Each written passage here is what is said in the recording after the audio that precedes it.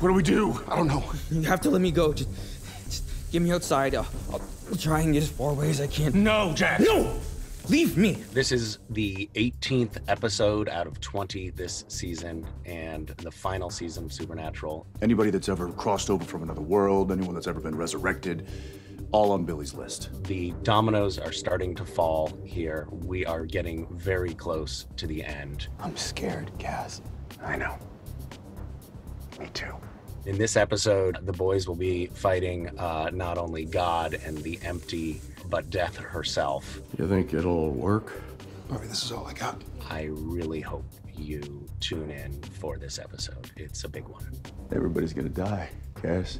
Everybody.